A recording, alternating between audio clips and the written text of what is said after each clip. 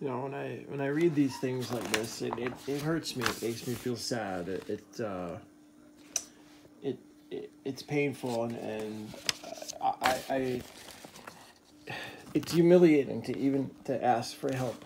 Um, but he put us into so much debt that um, it's just been difficult um, for folks to even empathize with my dad because they were like, "Well, why do you keep helping Andreas? Why do you keep bailing him out of trouble? Why do you put up with that?" And it's unconditional love, and and um, you know, um, it's sad. It's it, it really is a sad situation, and um, my father didn't deserve to be treated that way. He really didn't, and um, it's just painful to have to relive this, to have to go to court and have to show these things to my lawyer.